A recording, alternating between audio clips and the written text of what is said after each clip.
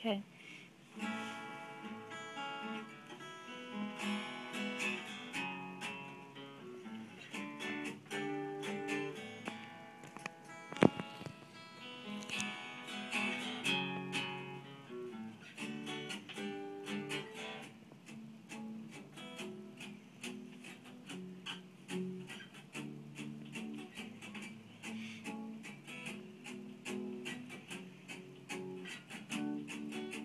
A carbonyl compound reacts with the Grignard. It's a hard nucleophile on a hunt for good electrophiles. Cyclohexanone reacts with an enone. Upon my speculation, it's a Robinson annulation.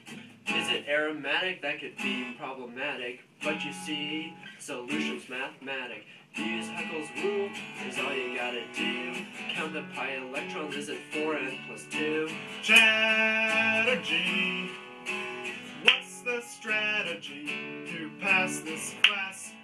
Oh, cause right now it's really kicking my ass.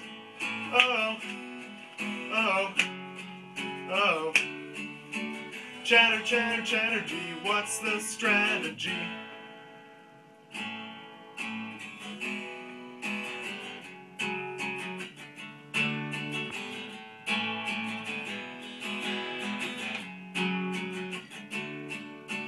Got a beta carbanion called enolate. Add a strong base, who knows what is its fate? Add your favorite ketone, and if you know chem at all, do the mechanism and create your own aldol. Got a chlorine attached to a benzene. Throwing nitric acid to get the nitro product. As an orthopara, those in the activator.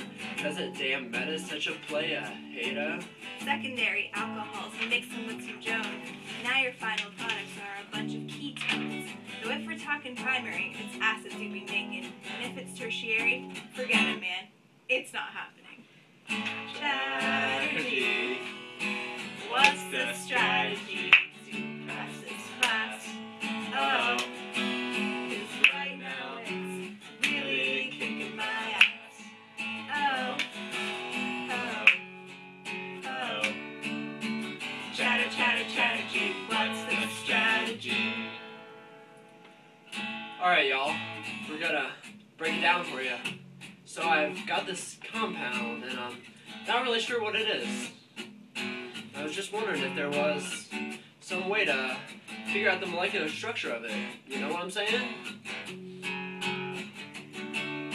The key to spectroscopy is multiplicity, integration, and peak elongation. Find degrees of unsaturation. Your peaks, or you'll be doing this for weeks. Use this information to find a compound you see. Strategy. What's the strategy to pass this class? Oh, cause right now it's really kicking my ass. Oh, oh, oh.